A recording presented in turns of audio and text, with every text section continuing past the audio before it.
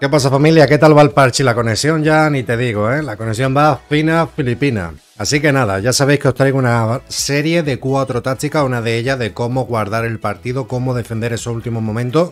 Hoy vamos con la segunda, la primera y el resto la tendréis conforme vaya subiendo las tácticas, linkada en el primer comentario fijado, que será mío, para que podáis eh, verla y si queréis utilizarla. Yo voy a utilizar estas cuatro en Food Champion, ya sabéis que podemos cambiar durante el partido para probar una variante u otra. Nos vamos con la 4-3-2-1. Esta es como la 4-3-3 que me habéis pedido mucho, pero actualmente la 4-3-3 está como un poquito nerfeada. Tienes que tener una filosofía de juego pues, muy forzada y al final la 4-3-2-1 es igual, pero va mucho mejor, es mucho más meta. Así que me he decantado por la 4-3-2-1. La he probado durante muchos partidos en División Elite y me va de lujo.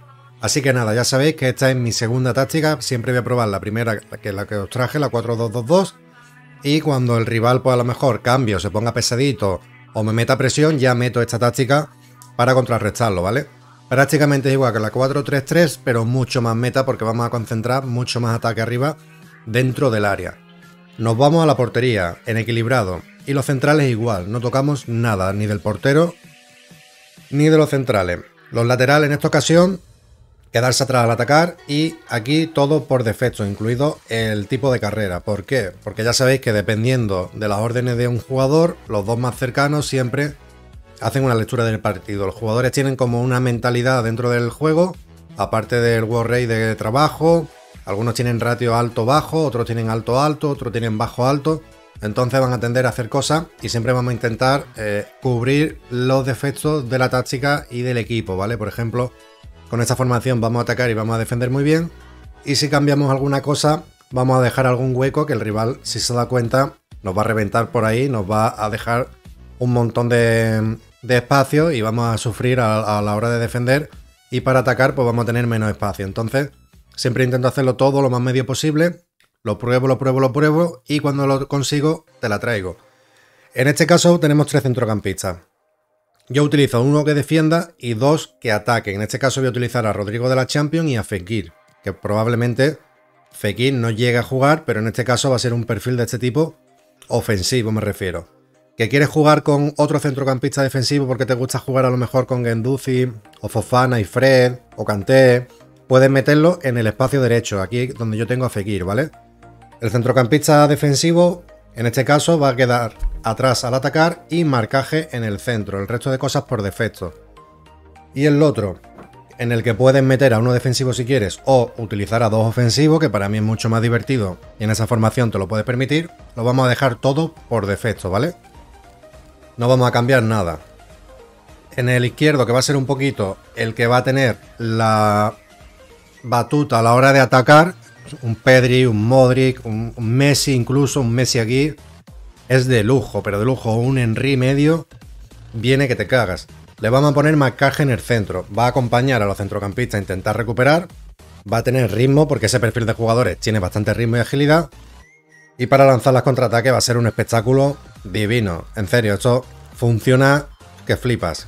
Los dos que están por detrás del delantero, tanto Neymar como Vinicius en este caso, quedarse en el centro. Vamos a acumular pases de gol, el resto por defecto. ¿Esto qué quiere decir? Pues que, por ejemplo, si le pones desmarcarse, vamos a tener problemas a la hora de generar espacio, ya que el delantero va a estar muy arriba y vamos a incrustar a la defensa rival en el área chica y van a empezar con los bloqueos automáticos. Y ellos van a optar por la lectura de juego que os he comentado al principio, en ir utilizando a lo mejor referencia, falso 9, desmarcarse, ellos van a optar y nos va a hacer una variedad de ataques que el rival se va a pensar que estamos cambiando de táctica continuamente porque se van a mover de loco los tres de arriba. Esto funciona que te caga. De hecho, es que me encanta esta formación. Y el delantero lo vamos a poner quedarse en el centro y desmarcarse. Porque ahora mismo, cuando la gente le marcamos un gol y empiezan a jugarnos de forma eh, más directa, vamos a poder aprovechar un delantero bueno, que a esta altura todo el mundo debe tener un delantero bueno, para intentar por lo menos tres veces o cuatro cada partido nos va a dejar un hueco. Si lo vemos y le pegamos el triangulazo, nos ponemos delante del portero solo. Entonces, esta opción no podemos perderla. Y lo vamos a aprovechar. Y en este caso, Eto, que además está en SBC, es Jesucristo. Eto es buenísimo. Una vez dicho esto, nos vamos a táctica. Vamos a jugar Un estilo defensivo equilibrado, una anchura de 41 y una profundidad de 71. Plan de juego equilibrado. No tenemos prisa al atacar. Tampoco quiere decir que perdamos tiempo, pero no tenemos prisa. Y en creación de oportunidades, pase dirigido.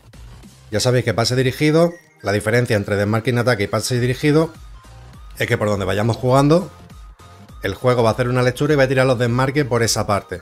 Si vamos atacando por la derecha, subimos con el lateral, de repente van a tirarnos tres desmarques, tanto el, el centrocampista como el delantero, como el que está detrás del delantero a la derecha.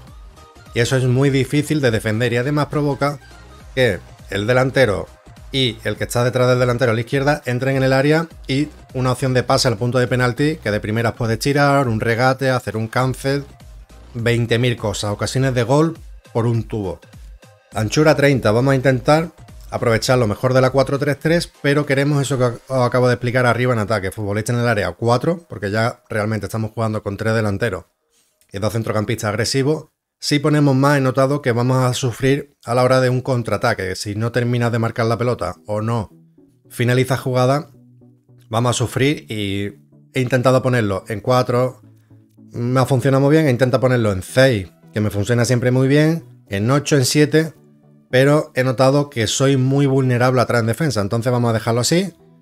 Y de momento, esta es la segunda táctica que yo voy a usar, la segunda variante dentro del sistema de juego. La 4222 la tendré en el comentario fijado. Y nos vemos en el siguiente vídeo. Un abrazo.